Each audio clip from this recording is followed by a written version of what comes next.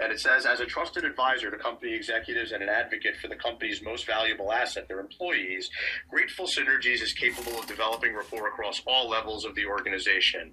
I think that's phenomenal. And it brings up a question for some of those gray and blue collar industries that you mentioned and I mentioned is that, you know, dealing with the the management and ownership and executives of these companies is one thing, but talk to us a little bit about, you know, like catering more to the actual, you know, employee base because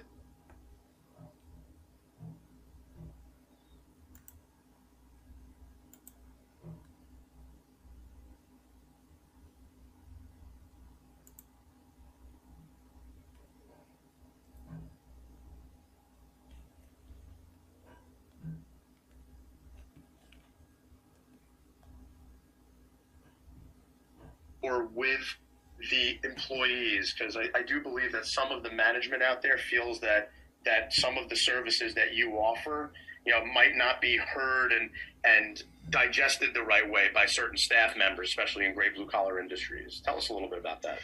So the first thing um, anytime you're going to implement some any sort of change to an organization um, the acceptance of that change comes starts with leadership. So if they're not going to set the example and they're not going to follow their own, you know, their own suggestions or they're not going to follow the change themselves, guess what? The rest of the company is going to is going to say if they're not doing it, then why should I?